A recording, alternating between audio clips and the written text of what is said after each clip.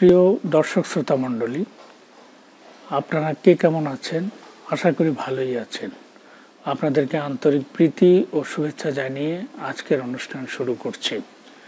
আপনারা জানেন যে ইতিহাসের বিভিন্ন বিষয়াদি নিয়ে আমরা হিস্টোরি বাংলা একটি চ্যানেলে আলোচনার সূত্রপাত করেছি। বিষয়গুলোর অনেক, অনেকেই কম বেশি হয়তো শুনেছেন, অনেকে জানেন। তারপরও অনেক বিষয় নিয়ে নানা রকম বিভ্রান্তি রয়েছে। আমাদের জাতীয় জীবনে, বিশেষ করে রাজনীতি, অর্থনীতি, সমাজ, সংস্কৃতির জীবনে, ইতিহাসের এই সব গুরুত্বপূর্ণ বিষয় সম্পর্কে যদি স্পষ্ট ধারণা থাকে, তাহলে যে কোনো মানুষ অনেক কম ভুল করবেন, অনেক কম বিভ্রান্তিতে পড়বেন। সে কারণেই ইতিহাসের নানা গুরুত্বপূর্ণ বিষয় সম্পর্কে আমাদের জানা থাকার প্রয়োজনীয়তা থেকেই আমাদের এই চ্যানেলের উদ্যোগটি। আজকে আমরা তেমনি একটি গুরুত্বপূর্ণ বিষয় আপনাদের জন্য নির্ধারণ করেছি। সেটি হলো ইতিহাসে কার্যকারণ, যেটাকে ইংরেজিতে বলে কজেশন ইন হিস্টোরি অর্থাৎ অর্থাৎ ইতিহাসে যেসব ঘটনাগুলো ঘটে, এগুলো কি এমনি এমনি ঘটে? এগুলোর কি কোনো কার্যকারণ থাকে না? কার্যকারণ ছাড়া কি কোনো ঘটনা ঘটে? তো এই যে কতগুলো প্রশ্ন আমি করলাম, এই প্রশ্নগুলোর অবশ্যই উত্তর রয়েছে। যারা এই উত্তরগুলো জানবেন না, তারা নিশ্চয়ই হয়তো মনে করবেন যে এই ঘটনা এই ঘটনাটা যে ঘটেছে, সেটা হয়তো কোনো রাজার ইচ্ছাতে ঘটেছে। এই ঘটনাটা ঘটেছে, জানি না সেটা হয়তো কীভাবে যে ঘটেছে। এইরকম নানা রকম উত্তর দেওয়ার চেষ্টা করেন। এই উত্তরটা কিন্তু আসলে কোনো বৈজ্ঞানিক ভিত্তি নেই। এই উত্তরটার কোনো বৈজ্ঞানিক ভিত্তি নেই বা এটার, এটা দেয় কোন মানুষ? যিনি ইতিহাসের বিষয় সম্পর্কে ঘটনা কেন ঘটে সেটি সম্পর্কে জানেন না। তিনি এই ধরনের একটা চটজলদি উত্তর দিয়ে ফেলেন। আসলে তো আমাদের চারপাশে এখনকার বা নিকট অতীত বা বহু দূরের অতীত সুদূর অতীত বা এমনকি একেবারে শুরুর শুরুর শুরুর দিকেও অনেক ঘটনা আছে বা অনেক বিষয় আছে যেগুলো সম্পর্কে জানার জন্যে যেগুলো কেন ঘটলো, কেন ঘটেছে, কীভাবে ঘটেছে, এই তথ্যগুলো এখন ইতিহাস গবেষকরা সেগুলো নির্ণয় করছেন, উপস্থাপন করছেন, অনুসন্ধান করছেন, সেগুলো জানিয়ে দিচ্ছেন। এবং এই জানার থাকলে কিন্তু আমাদের কিন্তু অতীতকালের এই সব ঘটনা সম্পর্কে কেউ আমাকে ভুল তথ্য দিয়ে আমাকে বিভ্রান্ত করতে পারে, পারবেন না। এটি হলো একটি। অন্যটি হলো আমার যে সমাজ চিন্তা, আমার যে রাষ্ট্র চিন্তা, আমার যে মানব চিন্তা, আমার যে মানুষের অতীত ইতিহাস সম্পর্কীয় যে চিন্তা, সেই চিন্তাটা হবে কিন্তু বিজ্ঞান ভিত্তিক অর্থাৎ এটা একেবারে নিরেট সত্য। কোনো ধরনের গোজামিল এখানে থাকবে না। সে কারণেই কিন্তু এই বিষয়গুলো সম্পর্কে আমাদের জানা দরকার। এখন আমি ওই যে বললাম, ইতিহাসে কার্যকারিতা বা কার্যকারণ, অর্থাৎ ইংরেজিতে যেটাকে বলে কজেশন বা কার্যকারণ ছাড়া কি কোনো ঘটনা ঘটে? কোনো কারণ ছাড়া কি কোনো ঘটনা ঘটে? যেমন আমরা এই যে বলি বৃষ্টি। বৃষ্টি তার এমনি হবে না। এটার নিশ্চয়ই কতগুলো কারণ আছে। সে কারণগুলো যারা জানেন, যারা কীভাবে এই বৃষ্টিপাত ঘটে, কি পরিমাণ আবহাওয়ায় কীভাবে জলরাশি তৈরি হয় এবং সেটা কীভাবে বাতাসে মাধ্যমে সেটা কীভাবে মাটিতে নামে এই বিষয়গুলোর একটা বৈজ্ঞানিক ব্যাখ্যা আছে যেগুলো কারও বানানো না। বানোয়াট নয়। এগুলো অন্যান্য জ্ঞান বিজ্ঞানের শাখাতে এইগুলো সম্পর্কে যথেষ্ট গবেষণা হচ্ছে তথ্য প্রমাণ আছে এবং তারা এটার কজটা, কারণটা জানেন।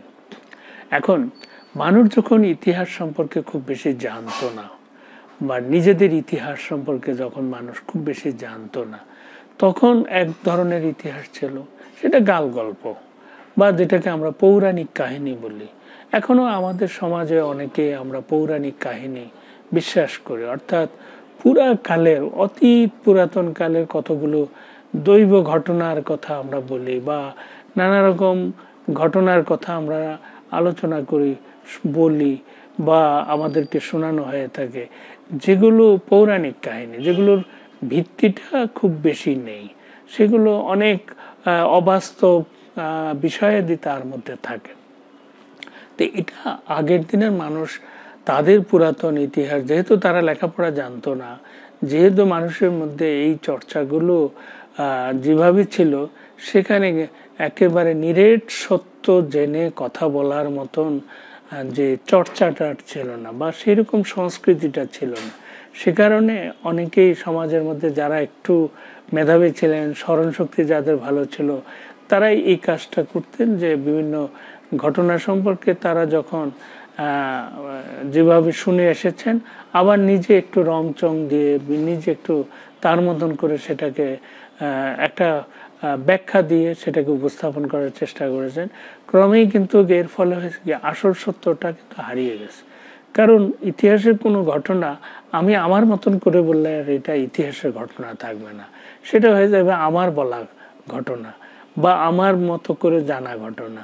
তো ইতিহাসে কিন্তু কারও মত, কারও কারও জানা কথা ইতিহাস গ্রহণ করে না। কারণ যে ঘটনাটা ঘটে, সেটা কিন্তু ইতিহাস বেত্তা বা যে কোনো মানুষের চিন্তা নিরপেক্ষ, বিশ্বাস নিরপেক্ষ। অর্থাৎ আমি বুঝি বা না বুঝি, আমি বিশ্বাস করি বা না করি, কিন্তু এইরকমই একটা ঘটনা যদি ঘটে যায়, তাহলে সেটা আমাকে সেইরকমই বলতে হবে। অন্য কোনোভাবে এটার ব্যাখ্যা দেওয়া চলবে না। তো এই ধারণাটা আগে ছিল না। এমনকি যখন ইতিহাস হ্যারোডোটাস সে গ্রিক দার্শন ইতিহাসবেত্তা, তিনি যখন প্রথম ইতিহাস রচনা করা শুরু করেন, তার আগেও ইতিহাস রচনা ওইভাবে হতো না, বা ইতিহাস বলার মধ্যে বেশি ছিল, যেটাকে লগোগ্রাফার বলা হতো তাদেরকে, যারা মুখে মুখে বলতেন। এইভাবে বিভিন্ন অনুষ্ঠানে বিভিন্ন কাজে মানুষ করতো কি, যেমন গান শুনতো, তেমনি কিন্তু গল্পও শুনতো। এই গল্প যারা বলতেন, তারা ঐতিহাসিক নানা ঘটনাকে কেন্দ্র করে যে সমস্ত পৌরাণিক কাহিনী সেগুলো বলতেন। এদেরকে লগোগ্রাফার বলা হতো। এই ধরনের প্রবণতা আগে ছিল। পরে হেরোডোটাস মোটামুটি বিভিন্ন জায়গা সফর করে বা ভ্রমণ করে। তিনি কিন্তু সেখানকার সাধারণ মানুষ বা বিভিন্ন মানুষের কাছ থেকে তথ্য উপাত্তগুলো সংগ্রহ করার মাধ্যমে ঘটনাগুলো লিপিবদ্ধ করেছেন।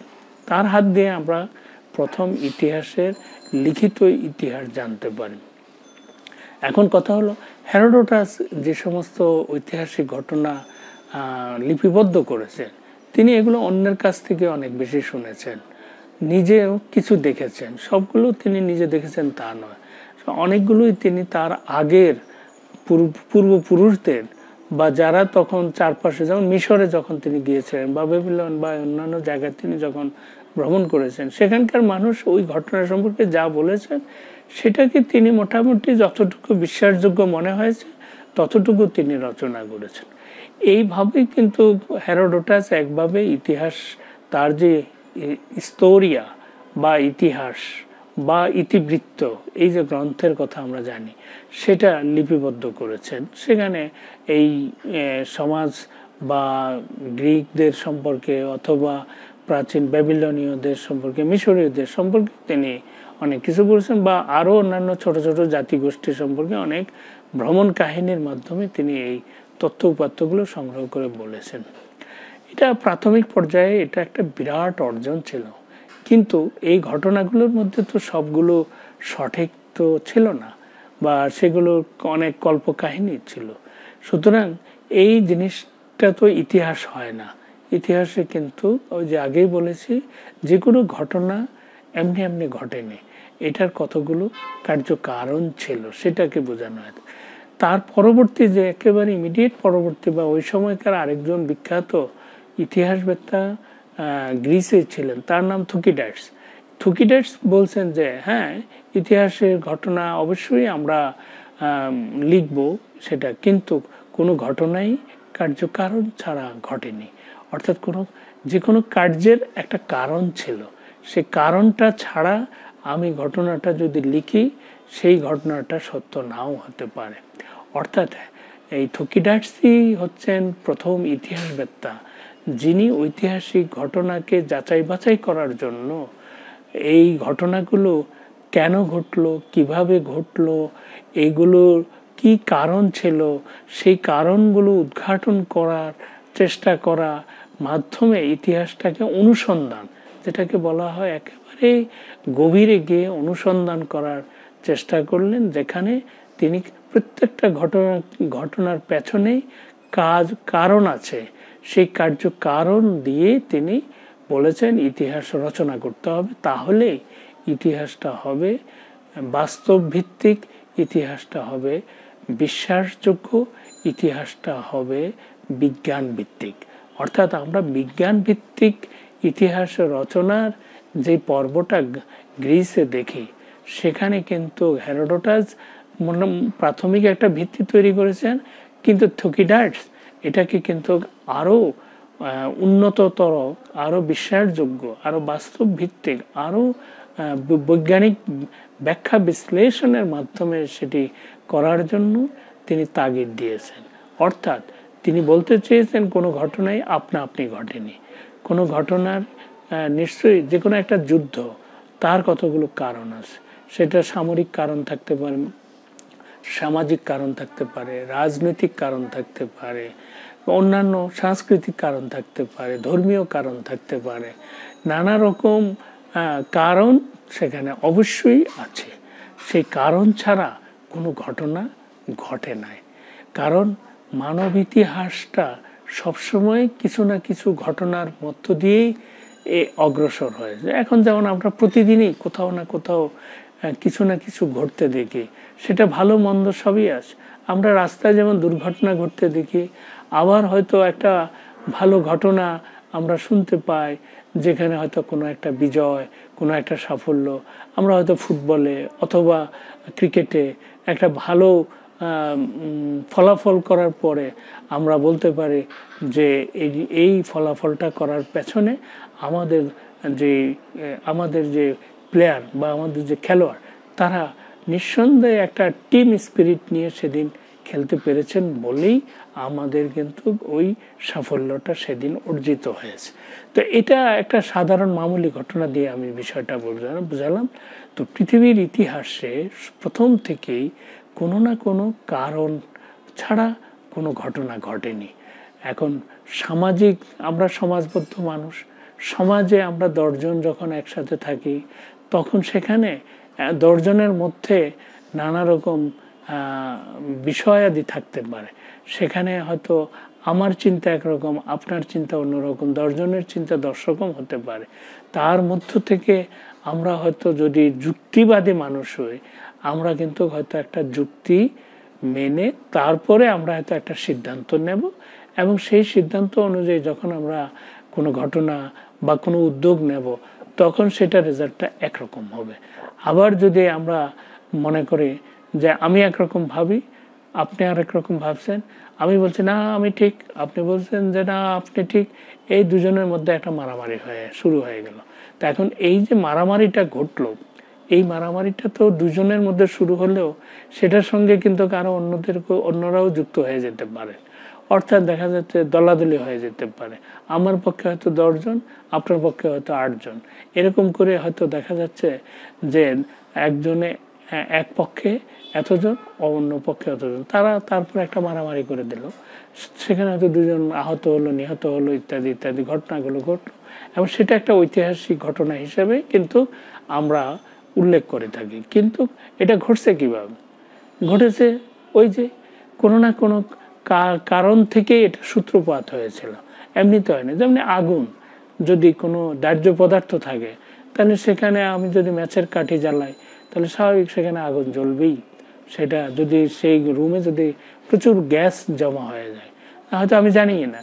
কিন্তু আমি যেই মাত্র ম্যাচের কাঠিটা জানলাম সঙ্গে সঙ্গে কিন্তু সারা ঘরে কিন্তু যে বাতাস ছিল, সেই বাতাসটা কিন্তু গ্যাস দ্বারা একেবারে পরিপূর্ণ হয়ে থাকার কারণে দেখা যাবে যে সঙ্গে সঙ্গেই কিন্তু ঘরের মধ্যে আগুন জ্বলে উঠবে এবং যারা যারা আমরা ঘরের মধ্যে থাকব তারা সবাই হয়তো মারা যেতে পারে বা আহত হতে পারে সিরিয়াসলি হতে পারে। এখন আমি যদি এই গ্যাস সম্পর্কে যদি আমার কোনো ধারণা না থাকে, তাহলে আমি কি বলব? আমি বলব যে বোধ হয় আমার মৃত্যুটা এরকমই হবে বা এটা মানে আমার কিছু একটা আমার ভাগ্যেই বোধ এরকম ছিল। অর্থাৎ এই যে ভাগ্যের উপর নির্ভর করে ফেলা অথবা এই যে একেবারে ডেস্টিনেশন, অর্থাৎ আগে থেকেই নির্ধারিত হয়ে থাকা, এইরকম যে কথাবার্তাগুলো আমরা বলি, আমরা আসলে মূল ঘটনাটা জানি না, কারণগুলো জানি না। এবং সেই না জানার কারণেই কিন্তু আমরা একটা বিশ্বাস করি বা একটা এটা সম্পর্কে একটা ব্যাখ্যা দিই, যেটি কিন্তু আসলে ঐতিহাসিক কোনো ব্যাখ্যা নয়। কারণ কোনো না কোনো কারণ আছে। সেই কারণটা সামাজিক কারণ হতে পারে, সেটা অর্থনৈতিক কারণ হতে পারে, সেটা প্রাকৃতিক কারণ হতে পারে। যেমন বজ্রপাত, এটা একটা প্রাকৃতিক কারণ। এখন এই বজ্রপাতের পেছনেও তো যে আকাশে বিদ্যুৎ চমকানো, বিদ্যুৎ চমকানোর পেছনেও তো আরও অনেক কারণ আছে। এই কারণগুলো এই কারণগুলো যথার্থ বিজ্ঞান, যথার্থভাবেই কিন্তু নিরূপণ করে রেখেছে। আমি যদি সম্পর্কে সচেতন থাকি, তাহলে যখন বিদ্যুৎ বিদ্যুৎ যখন চমকাবে, তখন কিন্তু আমি রাস্তায় খোলা জায়গায় কিন্তু হাঁটতে যাব না বা চলতে যাব না। কারণ আমরা জানি যে বিদ্যুৎ এই ধরনের ক্ষেত্রে যদি বিদ্যুৎ পাত ঘটে তাহলে সেটা যেই মাথাটি যে মানুষটি বা যে গাছটি মানে উঁচু, সেটার উপরেই পড়বে। সেটার দিকেই সেটা কিন্তু ধাবিত হবে। সেটা আকর্ষণের ব্যাপার। এই যে কতগুলো কারণ আছে, সেখানে কিন্তু সামাজিক কারণ যেমন এক ধরনের বিষয় তৈরি করে, আবার প্রাকৃতিক কারণে কিন্তু আবার এই অন্য ঘটনাগুলো ঘটায়। এখন কোনো, এখন যেমন আমরা বাংলাদেশে বলে যে প্রতি বছর আমাদের দেশে বিদ্যুৎ, বজ্রপাত ঘটে একশো দুশো মানুষ কিন্তু মারা যায়, যাদের অধিকাংশই মাঠে কাজ করতে থাকেন। ওই যে মাঠে যখন তারা কাজ করেন, তারা যে সঙ্গে সঙ্গে যদি মাটিতে শুয়ে থাকতেন অথবা কোনো গাছের নিচে যদি আড়ালে থাকতেন, তাহলে কিন্তু তাদের এই মৃত্যুটা ঘটতো না। কিন্তু যেহেতু তারা হয়তো এটা জানেন না, সুতরাং যেই মাত্র তিনি দাঁড়াবেন, সঙ্গে সঙ্গে কিন্তু বিদ্যুতায়িত হয়ে তিনি অর্থাৎ বজ্রপাত ঘটে তিনি কিন্তু মারা যাবেন। এই যে ঘটনাটা ঘটলো যে মৃত্যুটার কিন্তু কারণ হচ্ছে বজ্রপাত। বজ্রপাতটা ঘটার কারণ ঘটেছে কিন্তু ওই যে এই যে মানুষটা দাঁড়াল বা তার যে মাথাটা উঁচু হলো সে কারণে। আমরা আগে বলতাম যে তাল গাছে নাকি বিদ্যুৎ পড়ায় এই কারণে যে তাল গাছটা অনেক উঁচু, সেটাই কিন্তু ইয়ে করে, সেটাই কিন্তু আকর্ষণ করে। এইভাবেই প্রত্যেকটা বিষয়েরই কিন্তু যে কারণ আছে, সেই কারণটা আমরা যদি না জানি, তাহলে কিন্তু আমরা ভুল করব। এখন যেমন আমরা বলি যে সামাজিক কারণ একটা সমাজের মধ্যে দুইশো, তিনশো মানুষ যখন থাকে, তখন তাদের মধ্যে নানা রকম সামাজিক সম্পর্ক তৈরি হয় অর্থাৎ কেউ আমরা পিতা, কেউ আমরা মাতা, কেউ আমরা ভাই, বোন ইত্যাদি, কেউ আমরা প্রতিবেশী ইত্যাদি ইত্যাদি। এখন এইভাবে যখন আমরা থাকতে যাই, আমাদের মধ্যে যদি সমাজ, সমাজবদ্ধভাবে থাকার চিন্তাটা যদি কাজ না করে, চেতনাটা যদি কাজ না করে, তখন কিন্তু আমার সাথে আপনার, অমুকের সাথে তমুকের এই যে এই যে দ্বন্দ্বগুলো কিন্তু ঘটবে। ঘটলে কিন্তু সেখানে মারামারি হতে পারে, সেখানে কিন্তু অনেকে মৃত্যুবরণ করতে পারে, সেখান থেকে অনেকে পালিয়ে চলে যেতে বাধ্য হবেন। এই ঘটনাগুলো সামাজিকভাবে ঘটতে পারে। অথবা রাজনৈতিক, অর্থাৎ একটা রাজনৈতিক ব্যবস্থার মধ্যে যেমন আমরা জানি যে এই দল, সে দল। যেটা বর্তমান দুনিয়াতে এই বিষয়টা আধুনিক দুনিয়াতে যেহেতু রাজনীতি, এখন রাষ্ট্র ব্যবস্থার উত্থানের পেছনে অনেক বড় অবদান রেখেছে। কিন্তু সেখানে একটা রাজনৈতিক দ্বন্দ্ব আছে বিরোধ আছে। সেই কারণে দুটো আলাদা দল বা তিনটে আলাদা দল বা দশটি আলাদা দল। এখন প্রত্যেক দল মনে করে, আমি আমি এইভাবে দেশে মঙ্গল করব, ওইভাবে ও ওইভাবে করবে। এই নিয়ে দুই দলের মধ্যে একটা রাজনৈতিক দ্বন্দ্ব হয়, একটা আদর্শ দ্বারা সেই দলটা প্রতিস্থাপিত হয়। কিন্তু সেই আদর্শের মধ্যে যে দ্বন্দ্ব, সেই দ্বন্দ্ব থেকেও অনেক রাজনৈতিক ঘটনা ঘটে। যেমন আমরা জানি যে বিপ্লব অনেক বিপ্লব রাজনৈতিক কারণে ঘটে। অর্থাৎ সামন্ততন্ত্রকে উচ্ছেদ করার জন্য বুর্জুয়াতন্ত্রের যে আদর্শের যে রাজনৈতিক দল, তারা কিন্তু বিপ্লব বা ক্ষমতা দখলের চেষ্টা করে। আবার হয়তো এখন দুটো উন্নত গণতান্ত্রিক দেশে নিয়মতান্ত্রিক যে রাজনীতি, সেখানে আমরা বলছি যে জনগণ যদি মনে করে যে এবার কনজারভেটিভ পার্টিকে তারা মনে, যদি মনে করে ভালো তাহলে তারা সেখানে বেশি ভোট দেয়। তখন দেখা যাচ্ছে যে হয়তো ক্ষমতা আছে একটা লিবারাল পার্টি বা একটা উদারবাদী পার্টি যারা হয়তো আদর্শগতভাবে অনেক ভালো, কিন্তু কোনো কারণে তারা হয়তো খারাপ করেছে। সে কারণে জনগণের আস্থা তারা অর্জন থেকে নষ্ট হয়ে গিয়েছিল। সে কারণে মানুষ তাদেরকে এবার ভোট দেয়নি। এখন এইভাবেও কিন্তু রাজনৈতিক ঘটনার পরিবর্তন ঘটে, অর্থাৎ ক্ষমতার যে পালাবদল ঘটে। এই যে ঘটনাগুলো প্রত্যেকটাই কিন্তু মানে রাজনৈতিক ঘটনা। আবার অর্থনৈতিক, যেমন হয়তো দ্রব্যমূল্য অনেক বেশি বেড়ে যাচ্ছে, সেটা একটা কারণ হতে পারে। যে কারণে হয়তো দেখা যেতে পারে মানুষ হয়তো শ্রম মানে মজুরি বাড়ানোর জন্য আন্দোলন করতে পারে। যেমন আমাদের গার্মেন্ট শ্রমিক বা আমাদের জুটমিল শ্রমিক বা আমাদের বিভিন্ন ধরনের শ্রমিক শ্রেণি, তারা বিভিন্ন অর্থনৈতিক দাবি দাওয়া নিয়ে আন্দোলন করে। অর্থাৎ এই আন্দোলনগুলো থেকেই কিন্তু দেখা যাচ্ছে একটা ঘটনা ঘটে, একটা ঐতিহাসিক পরিবর্তন ঘটার সম্ভাবনা থাকে। পৃথিবীর ইতিহাসে এই ঘটনাগুলোর ভিতর দিয়ে অর্থনৈতিক ঘটনাগুলোই শেষ পর্যন্ত রাজনৈতিক ঘটনার দিকে মর নিয়েছে। আবার রাজনৈতিক অনেক ঘটনায় শেষ পর্যন্ত রাষ্ট্র ক্ষমতার অনেক পরিবর্তন ঘটিয়েছে। সামাজিক থাকতে পারে, সাংস্কৃতিক, দুটো আমার সংস্কৃতি একরকম, অন্য দেশের সংস্কৃতি অন্যরকম। আমরা যেমন বলি যে সাংস্কৃতিক আগ্রাসনে আমরা আছি। যেমন আমরা বলছি যে আমাদের আজকে আকাশ সংস্কৃতিতে অনেকেই বিভিন্ন সংস্কৃতি, বিভিন্ন সংস্কৃতিতে আকৃষ্ট হচ্ছেন।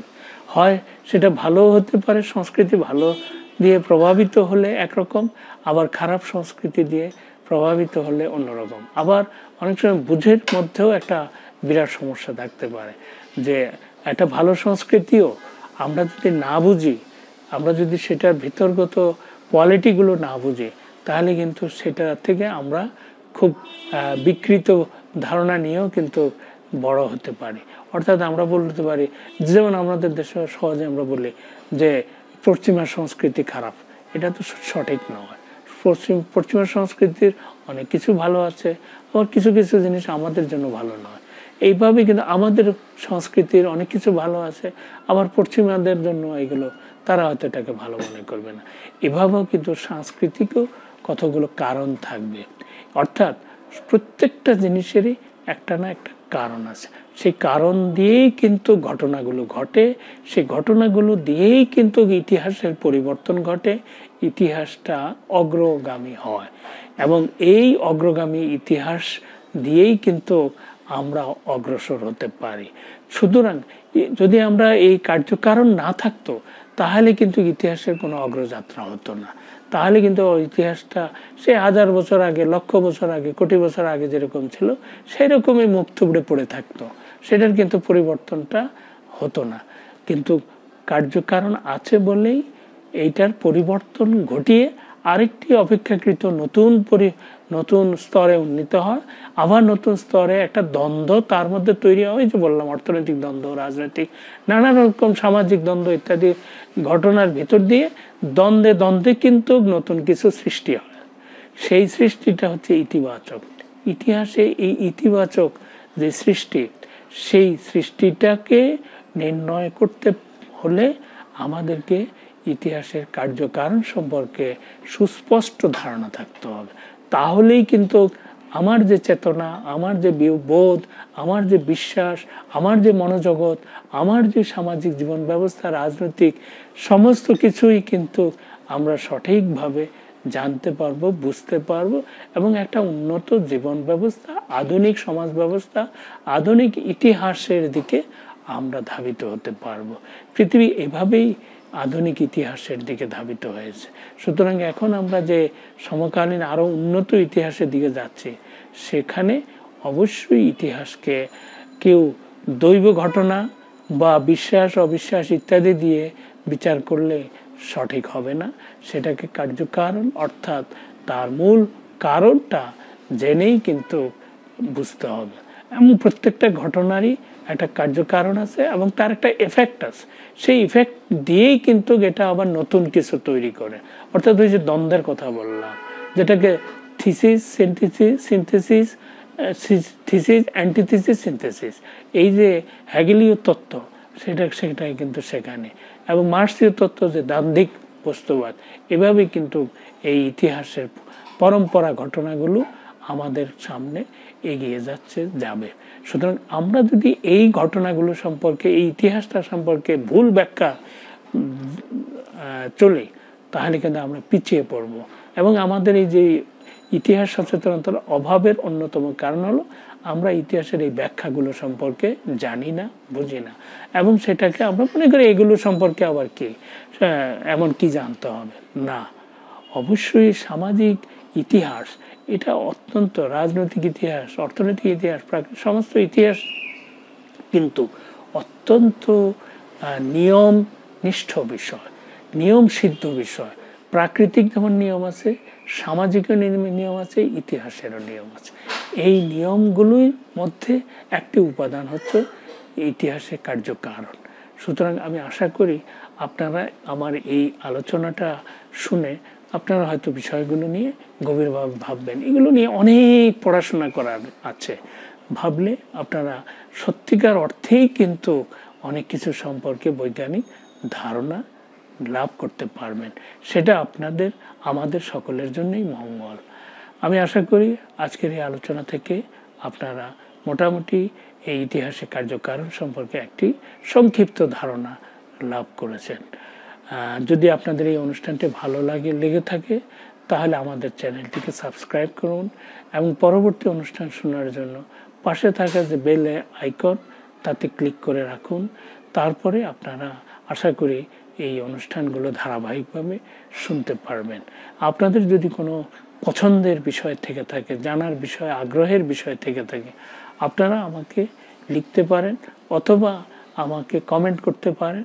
সেখানে আমি এগুলো দেখব এবং সুযোগ মতো আমার ধারণা মতো আমি চেষ্টা করব সেগুলো সম্পর্কে আপনাকে ধারণা দিতে। আজ তাহলে এখানেই রাখি। দেখা হবে পরবর্তী কোনো আলোচনায়। ধন্যবাদ।